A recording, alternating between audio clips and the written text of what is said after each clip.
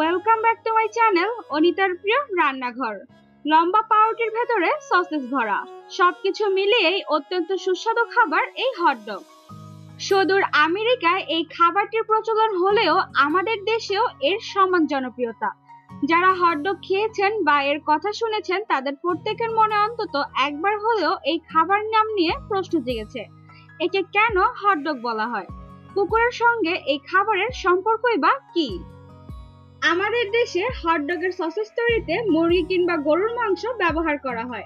তবে ইউরোপে এই সসেস তৈরিতে বেশিরভাগ সময় শুকুরের মাংসটাই ব্যবহার করা হয়। মূলত জার্মানির খাবার এই হটডগ এক সময় আমেরিকার জনপ্রিয় স্ট্রিট ফুডে পরিণত হয়েছিল এটি। চলুন তাহলে রেসিপিটা শুরু করি। আর রেসিপিটা যদি ভালো লাগে, তাহলে কিন্তু অবশ্যই like comment share and subscribe করতে একদমই ভুলবেন না। প্রথমে আমি হটডগের জন্য বানটা তৈরি করে নেব। আর তার জন্য আমি প্রথমে এই বোলের মধ্যে নিয়ে নিচ্ছি দুই কাপ ময়দা।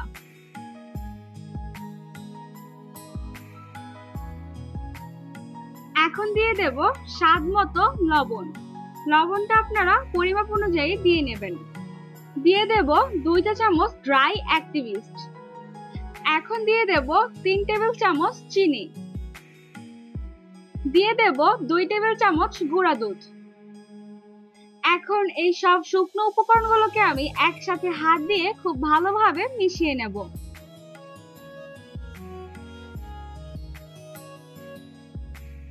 মেশানো হয়ে গেলে আমি এর মধ্যে দিয়ে দেব দুই টেবিল চামচ রান্নার রেগুলার তেল। আপনারা চাইলে এখানে গলানো বাটার অথবা অলিভ অয়েলটাও দিতে পারেন। তেলটাকেও শুকনো উপকরণের সাথে ডলে ডলে খুব ভালোভাবে মিশিয়ে নেব। মেশানো হয়ে গেলে এরপর এর মধ্যে দিয়ে দেব রুম টেম্পারেচার থাকা একটা ডিম। ডিমটাকেও এই শুকনো উপকরণের সাথে মিশিয়ে নিতে হবে।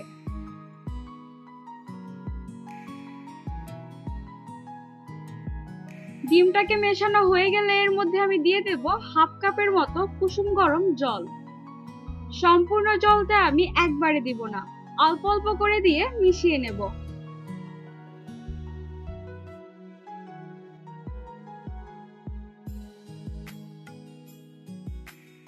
জল দেওয়ার পর পাঁচ সাত মিনিটের মতো আমি ড্রোটাকে মুথে নিয়েছি।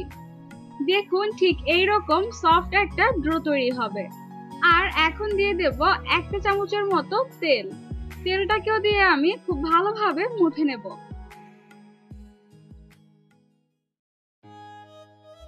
মুথে নেওয়া হয়ে গেলে আমি এ পর্যায়ে ড্রোটাকে একটা প্লাস্টিক পেপার দিয়ে ঢেকে রেস্টে রেখে দেব এক থেকে দেড় ঘণ্টার জন্য।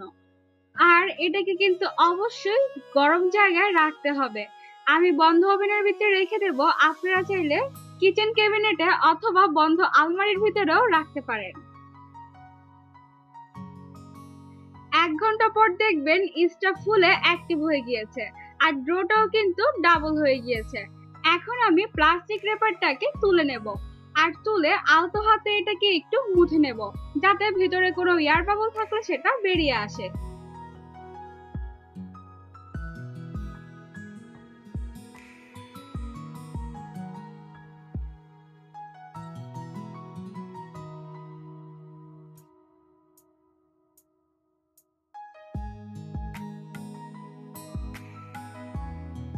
আপনারা দেখতেই পাচ্ছেন, আমি ডোটাকে মুথে নিয়ে একটা লম্বা রোলের মতো করে নিয়েছি। এখন আমি এটাকে সমান সাতটি ভাগে ভাগ করে নেব।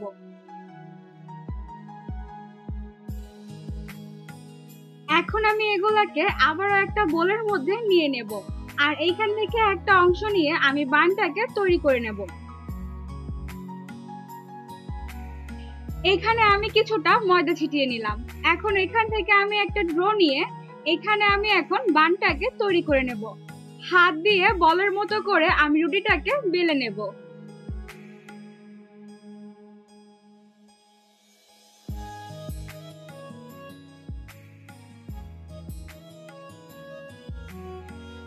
আপনি হটডগটাকে যতটা লম্বা করতে চান, রুটিটাকেও কিন্তু ঠিক ততটাই লম্বা করে নিতে হবে। রুটিটা বেলা হয়ে গেলে আমি পেঁচিয়ে পেঁচিয়ে রোলের মতো করে নেব। সাধারণত বেকারিতে যেই সাইজের বানগুলো তৈরি করা হয়, আমি আজকে ঠিক সেই সাইজের বানগুলোই তৈরি করব। নিচের দিকে যে জোরালোর অংশটা রয়েছে, সেটাকে আমি হাত দিয়ে চেপে চেপে লাগিয়ে দেব, যাতে বেক করার সময় খুলে না যায়। আর দুই সাইডেও যেটা ছিল, আমি সেটাকে চেপে চেপে লাগিয়ে দেব। আর এইভাবে আমি সবগুলো ড্র দিয়ে হটডগ বানগুলো তৈরি করে নেব।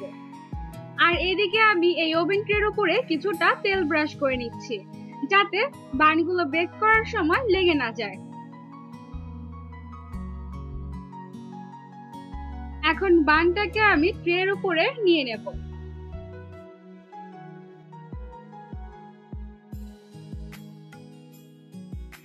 আমি সবগুলো বান বানিয়ে নিয়েছি, আর এই ট্রের মধ্যে আমি তিনটা বান নিয়ে নিয়েছি।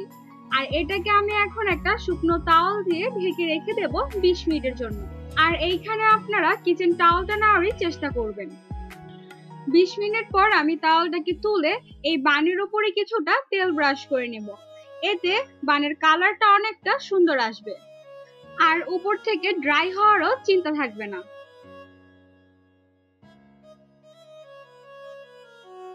এখন উপর থেকে কিছুটা সাদা তেল ছিটিয়ে নেব।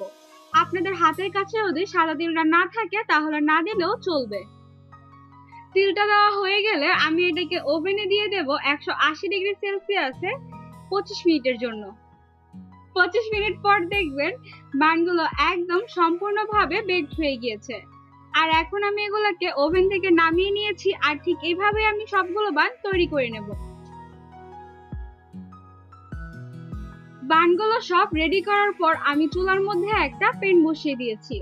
এর মধ্যে এখন আমি দিয়ে দেব দেড় টেবিল চামচ বাটার আর আপনারা চাইলে রান্নার রেগুলার তেল অথবা অলিভ অয়েল দিয়েও করতে পারেন। বাটারটা মেল্ট হয়ে আসা পর্যন্ত অপেক্ষা করব। আর তারপরে আমি এর মধ্যে দিয়ে দেব চিকেন সসেস এই সসেসগুলো আমি বাইরে থেকে কিনে এনেছি। আপনারা চাইলে এই সসেসগুলো বাসায়ও তৈরি করতে পারেন। এখন চুলার আঁচ থেকে আমি মিডিয়ামে রেখে এই সসেসগুলোকে লালচে করে ভেজে নেব।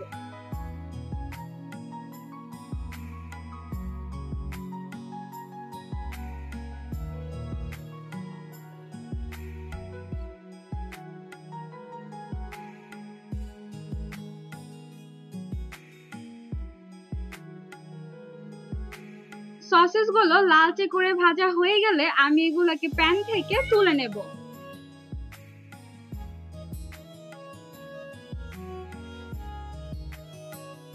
আর এখন আমি হটডগটাকে তৈরি করার জন্য হটডগ বানের মাঝখান থেকে চিড়ে নেব।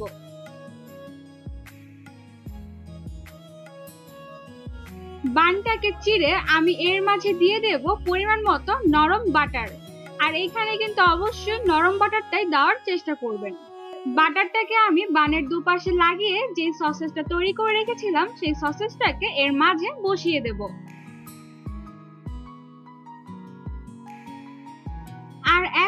উপর থেকে টমেটো কেচাপ আর ম্যায়োনেজ দিয়ে দিলেই কিন্তু তৈরি হয়ে যাবে পারফেক্টলি ভাবে দোকানের মতো চিকেন হটডগ